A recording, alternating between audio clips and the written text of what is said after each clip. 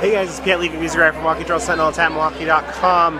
Just uh, ended the Santana show here at the Riverside Theater. Uh, this is Santana's first theater show in Milwaukee since 2000. He's come through plenty of times, he's only done the Marcus Amphitheater. Uh, this was a really incredible, awesome, uh, comparatively intimate treat uh, with Santana. I mean, you could just see so many great expressions in him and, and the band. I mean, the band just seemed like they had a ton of life. People in the crowd were definitely having a ton of life. There was uh, this guy next to me who was just kind of like punching me in the arm like throughout the show, and then uh, in a nice way. And then uh, these ladies that just kind of spontaneously met and were dancing, and they were like basically shaking each other so giddily. Uh, it was insane.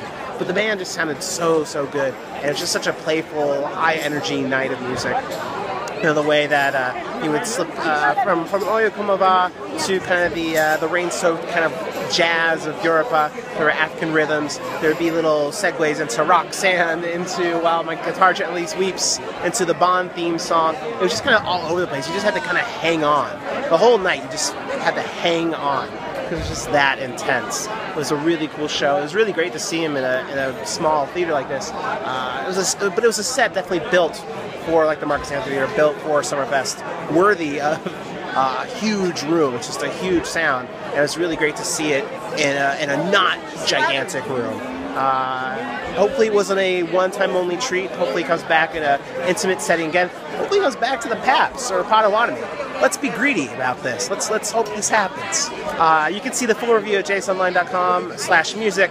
Uh, and for other restaurant recommendations and concert happenings, things like that, uh, definitely check out the Best Super City app. That's available at the iTunes and Google Play stores.